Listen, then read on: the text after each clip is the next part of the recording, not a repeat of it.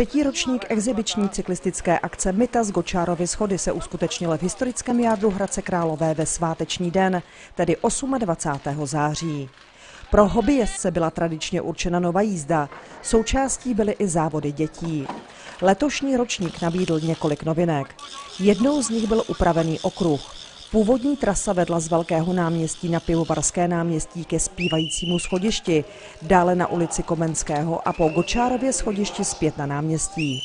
Letos přibyl sjezd po schodišti Kozinka na třídu ČSA a následný návrat na Velké náměstí ulicí v Kopečku.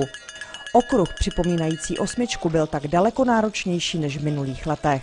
Po vzoru světových akcí představil tento závod strhující exibici ve sjezdu ze schodů a do východu české metropole přilákal bajkery z celého Česka i zahraničí.